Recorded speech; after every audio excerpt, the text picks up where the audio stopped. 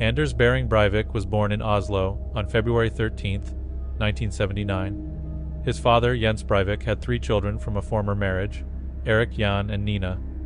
His mother, Wenche Behring, had a daughter from a past relationship named Elizabeth. As a child, Anders frequently attracted the attention of psychologists, who were worried about the state of his mental health.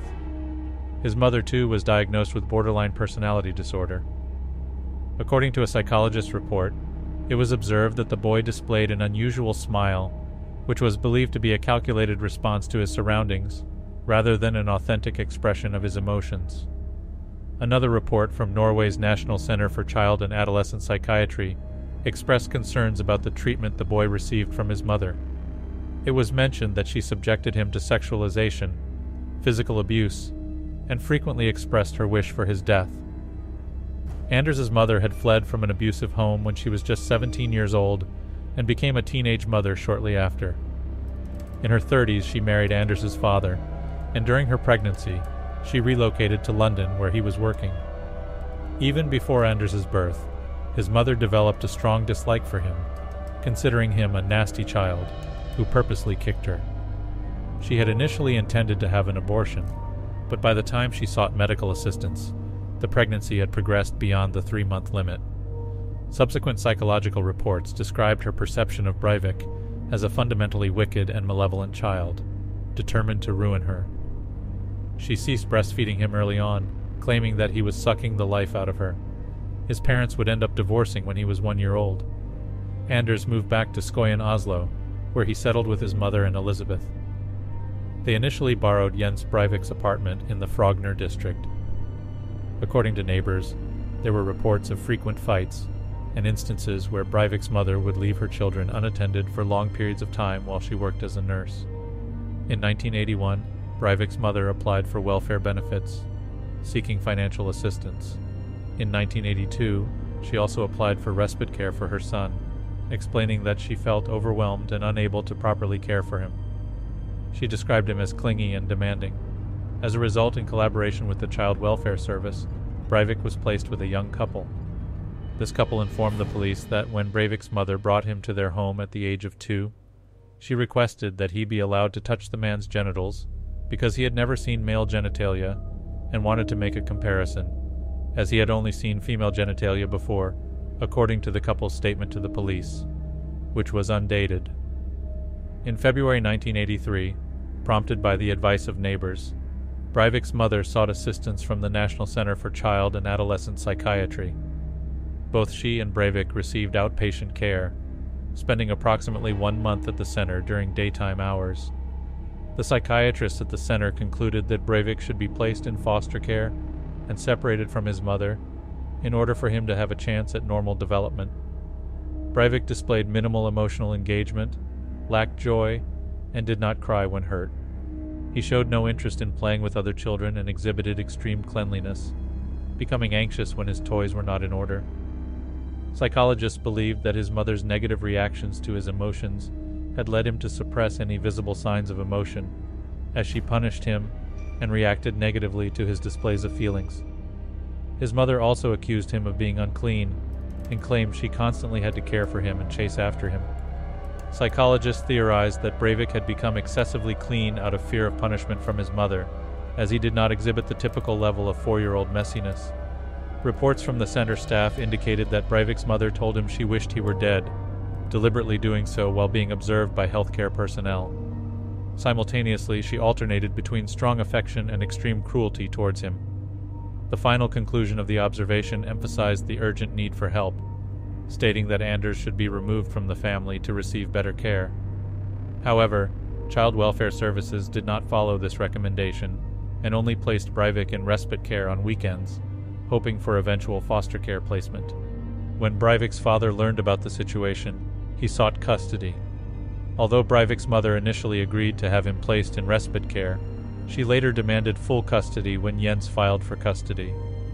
Legal battles ensued between the parents, and ultimately the case was dropped due to the welfare service's belief that they lacked sufficient evidence to justify foster care placement. The testimony from staff at the Vigelandsparken nursery, which Breivik had attended since 1981, played a significant role in this decision. They described him as a happy child with no apparent issues. Throughout this process, the SSBU maintained their stance that urgent action was necessary to prevent severe developmental problems in the boy. They wrote a letter to the Child Welfare Services advocating for forcibly removing Breivik. In 1984, a hearing took place in front of the Municipal Child Welfare Committee to determine if Breivik's mother should lose custody.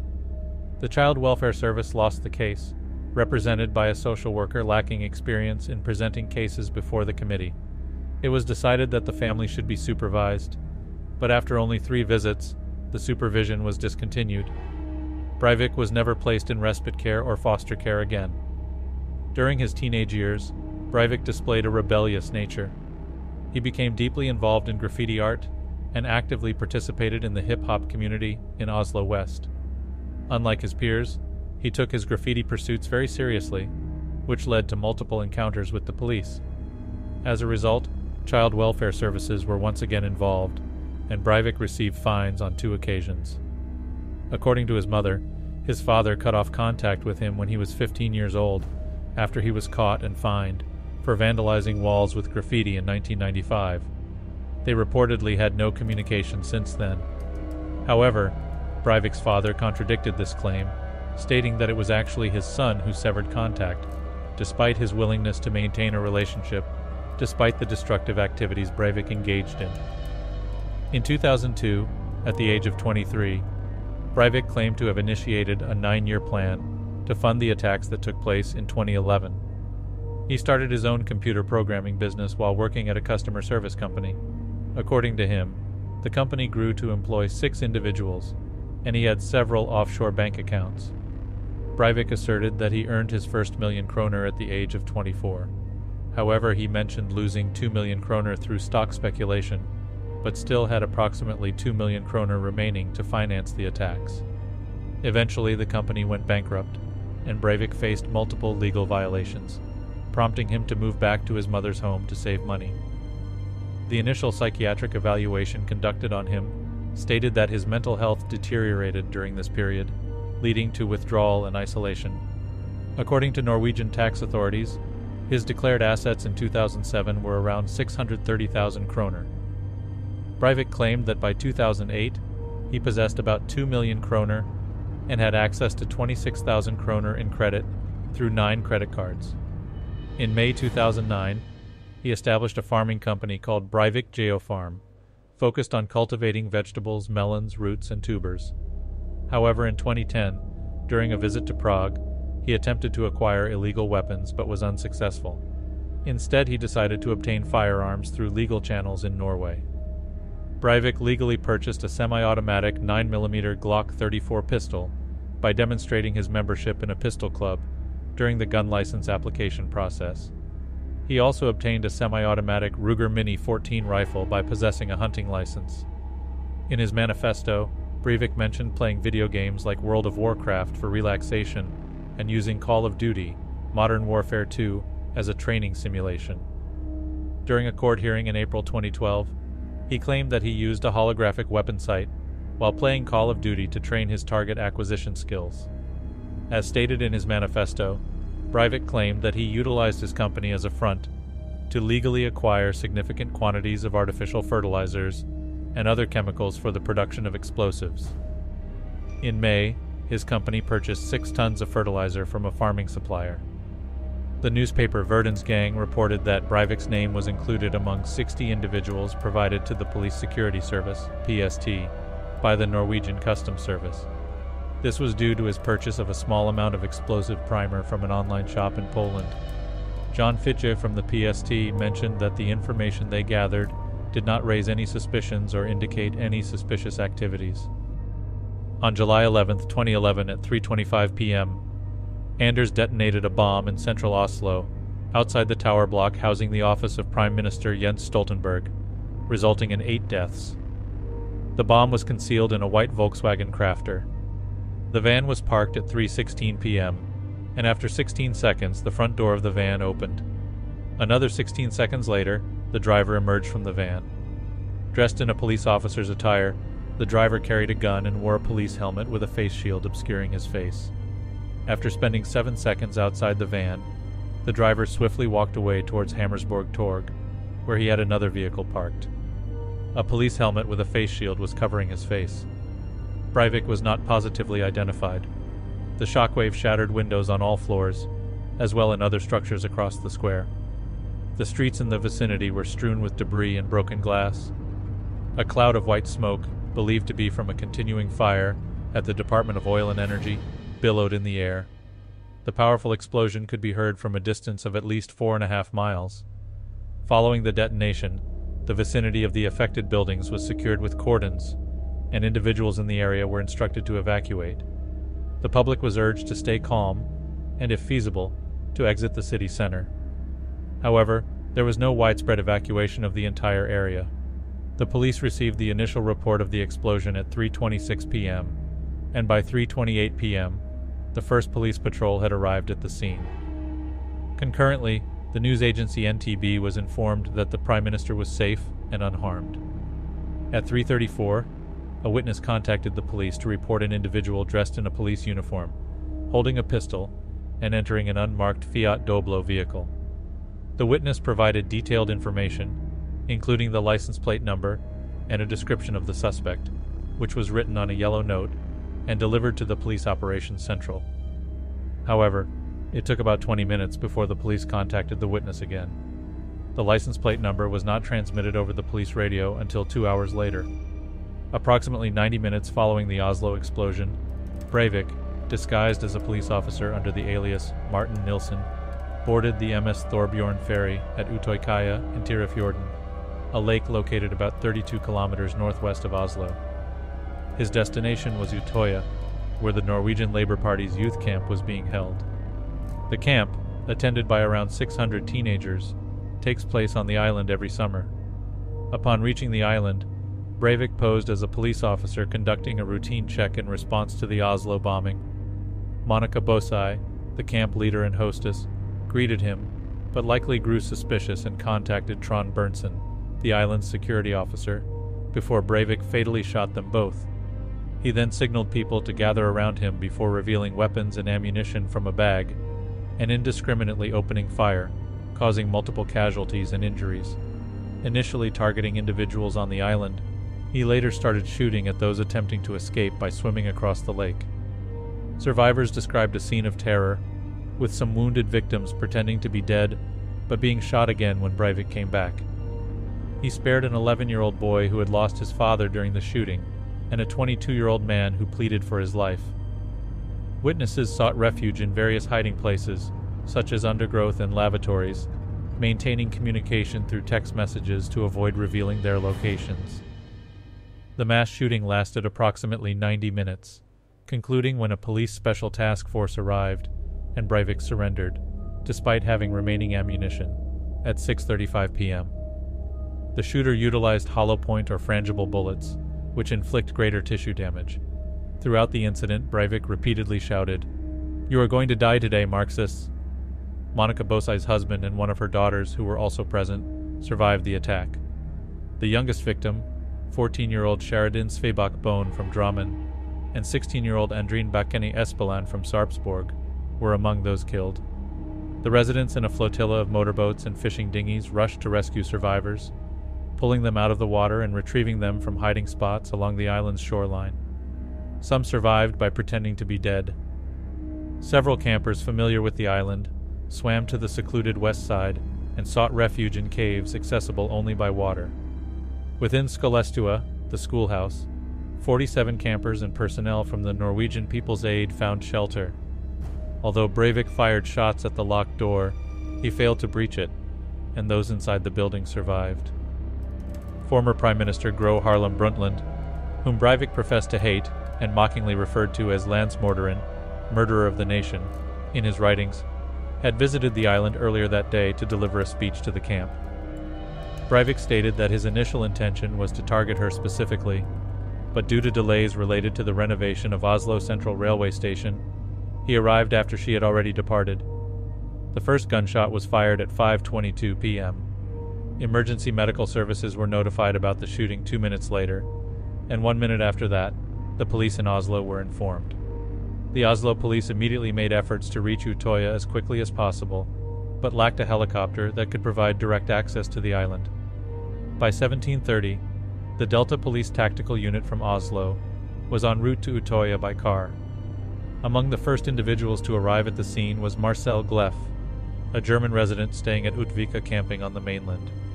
Recognizing the sound of gunshots, he piloted his boat to the island and started throwing life jackets to young people in the water, rescuing as many as he could in multiple trips. However, the police eventually asked him to stop. It was estimated that he saved up to 30 lives.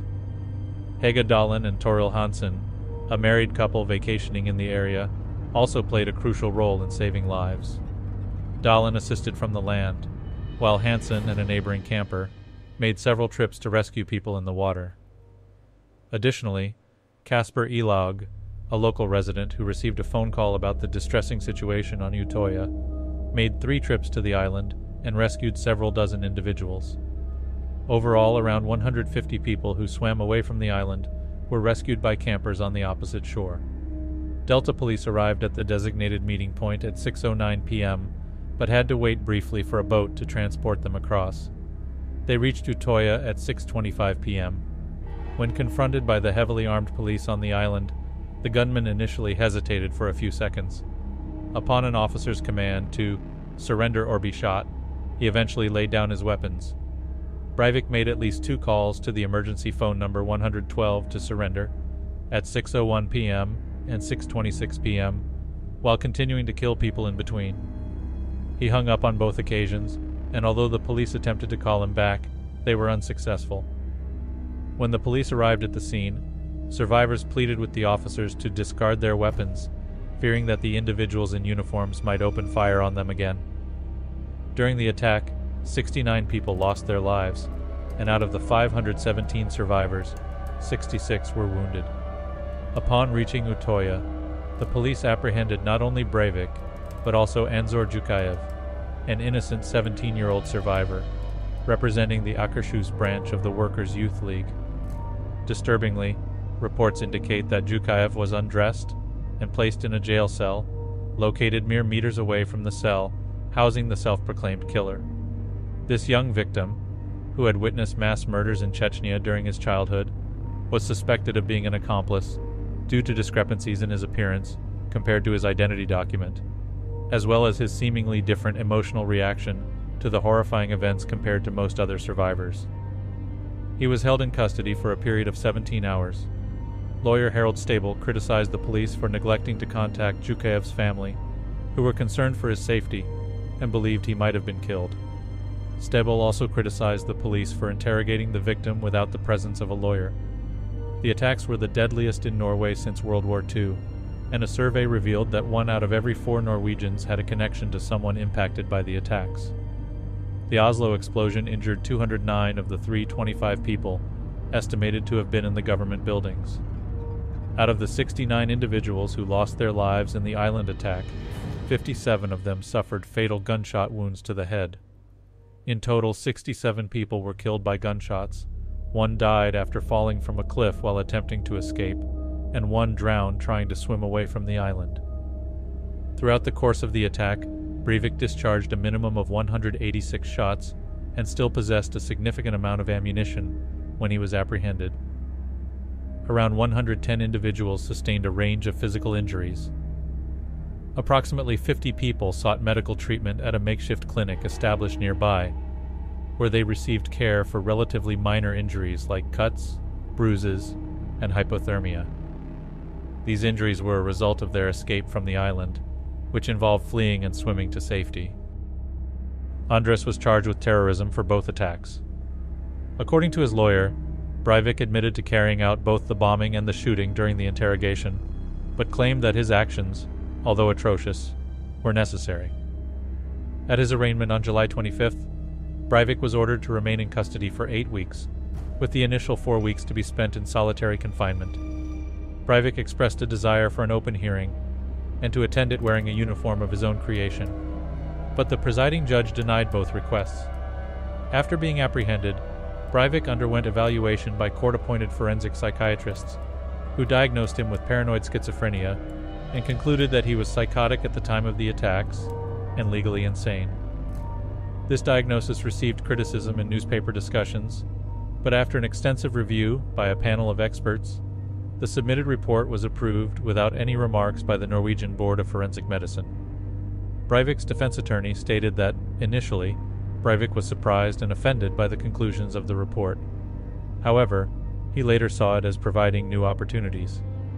In response to the criticism of the initial psychiatric report, a second psychiatric examination was authorized by the court in January 2012. The subsequent report, issued in April 2012, declared Breivik to be mentally sound. Ultimately, the district court's five judge panel reached a verdict and ruling concurring that Breivik was mentally competent. The trial took place in Oslo District Court, where Breivik faced charges for his role in the bombing and mass shooting. The trial began on April 16, 2012, and lasted for 10 weeks, attracting global attention due to the magnitude and brutality of the attacks. During the trial, Breivik admitted to carrying out the attacks but claimed that they were necessary and justified as part of his extremist ideology. The court proceedings provided an opportunity for survivors, victims' families, and the public to confront the horrifying details of the events.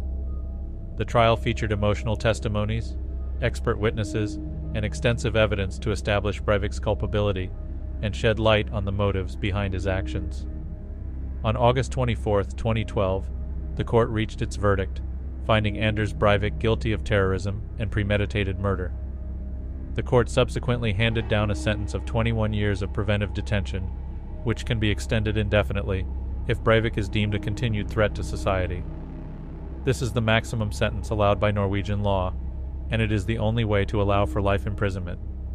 This unique sentencing framework in Norway reflects a focus on rehabilitation and public safety rather than retribution. The court also acknowledged the possibility of parole after a minimum term of 10 years, depending on the assessment of Breivik's rehabilitation progress.